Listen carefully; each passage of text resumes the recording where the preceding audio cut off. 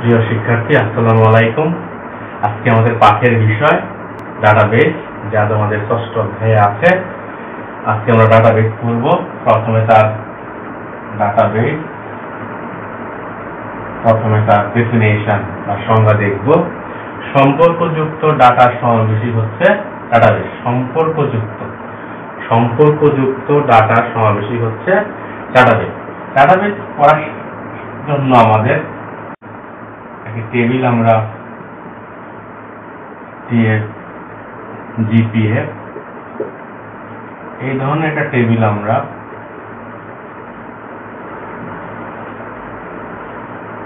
দেখব।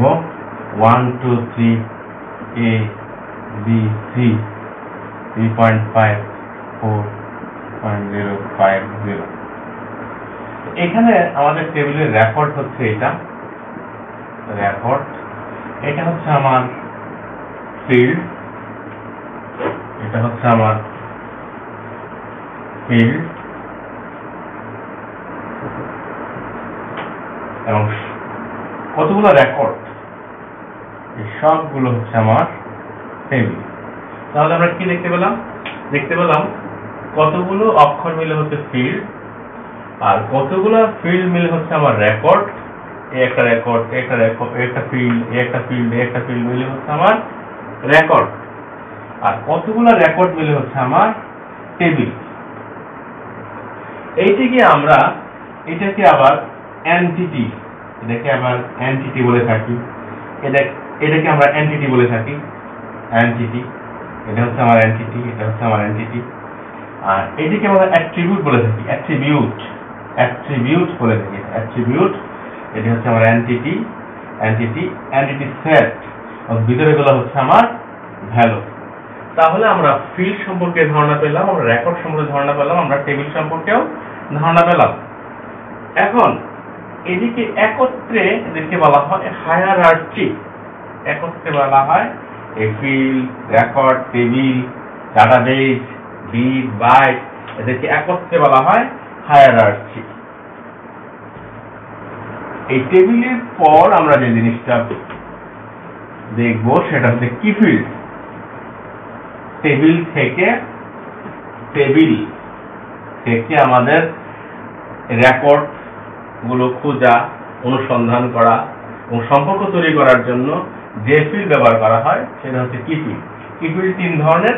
এটা হচ্ছে প্রাইমারি কি প্রাইমারি কি ফরেন কি কম্পোজিট কি প্রাইমারি কি কি ফিল্ড আমাদের প্রাইমারি কি প্রাইমারি কি ফরেন কি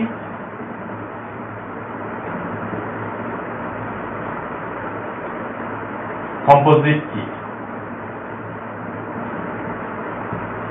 কম্পোজিট কি এই তিন ধরনের কি ফিল্ড রয়েছে। প্রাইমারি কি আমরা? সম্বন্ধে জানব এবং ফরেন কি সম্পর্কে জানব এবং কম্পোজিট কি সম্পর্কে জানব? প্রথমে আমরা প্রাইমারি কি সম্পর্কে জানি সেটা হলো, আমরা আবার সেই টেবিলটা লিখি name GPA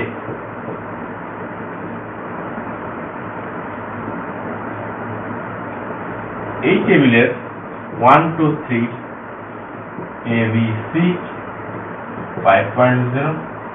zero five point zero এটাকে আমরা বলতেছি হলো প্রাইমারি কি অর্থাৎ যে টেবিলের ডাটা ডুপ্লিকেট ভ্যালু থাকে না অদ্বিতীয় ফিল্ড কোনো ডুপ্লিকেট ভ্যালু নাই সেটাকে বলতেছি আমরা প্রাইমারি কি এই প্রাইমারি কি যখন অন্য একটা টেবিলে ধরো আরেকটা টেবিল আমরা পাশাপাশি রাখি আমরা বুক আইডি নামে একটি আইডি অথর সেইটার অথর আছে এবং কত পেজের বই সেটা এবং এখানে আমরা এই রোলটিকে লেখা হলো।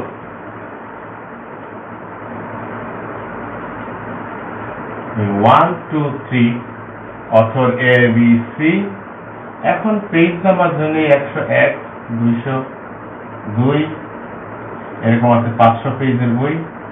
এখন এখানে ওয়ান ওয়ান টু এরকম লিখতে পারি। এই টেবিলের প্রাইমারি কি? এই টেবিলে এসে ফরেন কি হিসাবে ব্যবহৃত হয়েছে। অর্থাৎ কোন একটা টেবিলের প্রাইমারি কি? এই টেবিলের প্রাইমারি কি?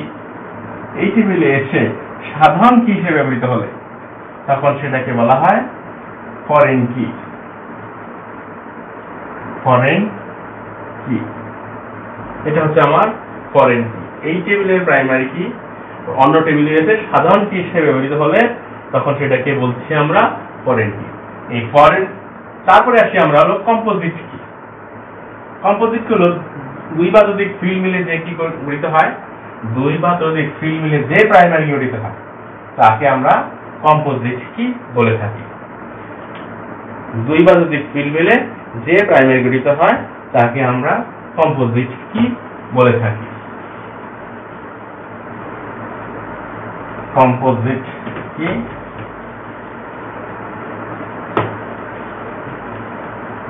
আমরা এখন ডাটাবেজের ব্যবহার দেখব, প্রাথমিক ব্যবহার আছে ডাটাবেজ তৈরি করা। রেকর্ডে ডাটা ইনসার্ট করা, ডিলিট করা, আপডেট করা হ্যাঁ খুঁজে বের করে নিয়ে আসা, এটা ডাটাবেজের ডাটাবেজের প্রাথমিক কাজ। প্রাথমিক কাজ, ডাটাবেজের ডি বি এম এস ডাটাবেজের প্রাথমিক কাজ। প্রাথমিক কাজ, প্রথমে ডাটাবেজ তৈরি করা, রেকর্ড ইনসার্ট করা, রেকর্ড ডিলিট করা, আপডেট করা সিকিউরিটি মেনটেন করা। সংরক্ষণ করা। এগুলো সবই হচ্ছে ডাটাবেজের প্রাথমিক কাজ। ডাটাবেজের প্রাথমিক কাজের পরে আমরা যে জিনিসটা শিখব সেটা হচ্ছে ডাটা টাইপ। আমরা ডাটা টাইপ শিখব। আমরা সি প্রোগ্রামিং ডাটা টাইপ দেখেছিলাম। এখানে আমাদের ডাটা টাইপ রয়েছে, ডাটাবেজের ডাটা টাইপ। সেখানে ডাটা টাইপগুলোর মধ্যে রয়েছে data type, short text long text হিসাবে ডিক্লেয়ার হয়, আবার চা হিসাবেও ডিক্লেয়ার হয় নাম্বার হিসাবে হয় অটো নাম্বার হিসাবে হয়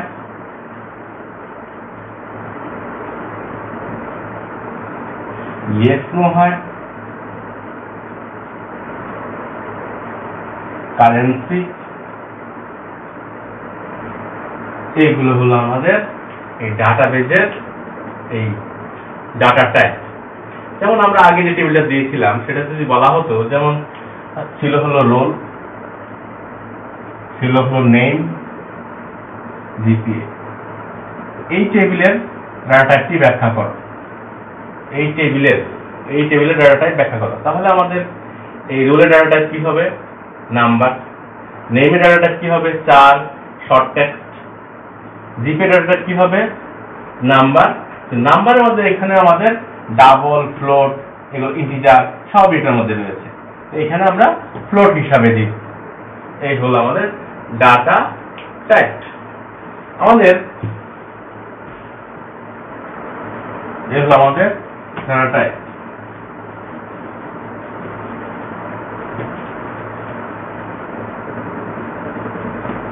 আমরা যে জিনিসটি ডাটা টাইপের পরে যে দেখব, সেটা হচ্ছে আমাদের কোয়ারি ইউ ইউ কোয়ারি আমাদের ভিন্ন ধরনের কোয়ারি আছে, যেমন আছে select query select query parameter query parameter parameter query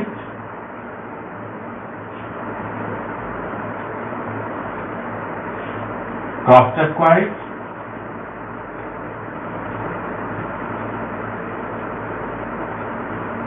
action query, cross-check, cross-check query, action query.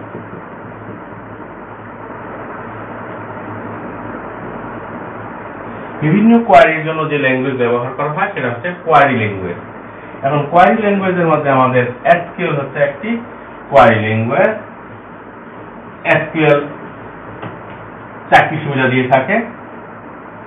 SQL structured query language চারটি সুবিধা, চার ধরনের সুবিধা দিয়ে থাকে। চার ধরনের সুবিধা।